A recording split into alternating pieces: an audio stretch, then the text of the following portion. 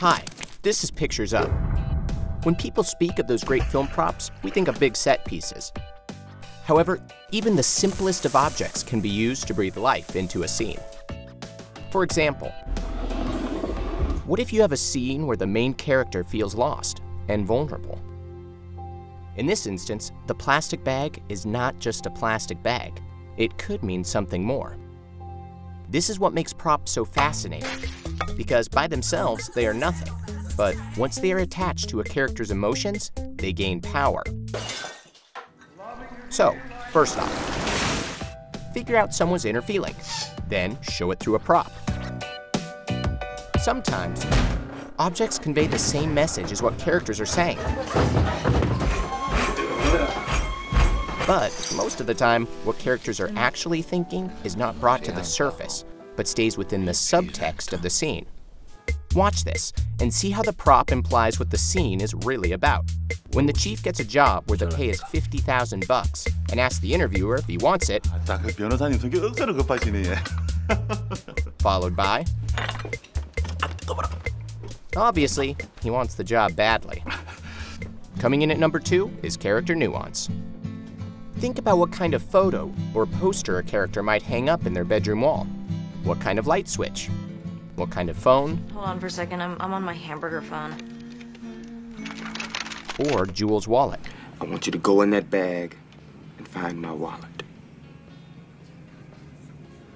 Which one is it? It's the one that says bad motherfucker.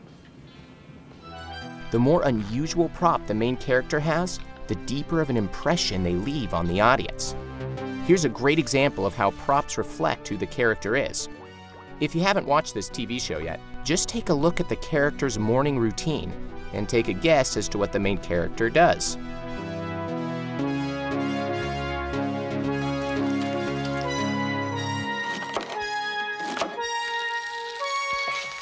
If you need a hint, he's a serial killer. Let's go deeper. Metaphor. Take a look at this lamp. The couple in this movie start a journey, hoping to find the real waterfall from the image printed on the lamp. But eventually, they break up. When one of them reaches the falls alone, he feels sad because there should be two of them standing there. As for the feather in Forrest Gump, not only serves as a metaphor, but also as a motif.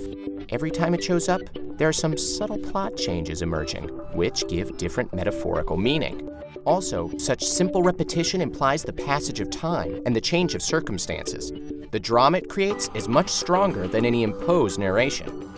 However, not all objects have interpretations outside the objects themselves, but they still function.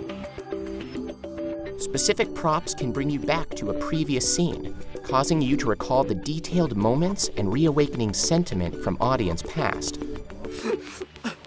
Number 5. Performing with props. This not only helps actors' natural performance, it also lets them use the prop to its fullest. Watch here. The teacher knocks the book on the desk.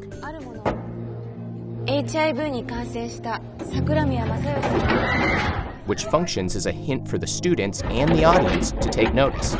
It sets up a big moment that's about to happen. The movement of the props can also be used as cutting point in films. Look at this.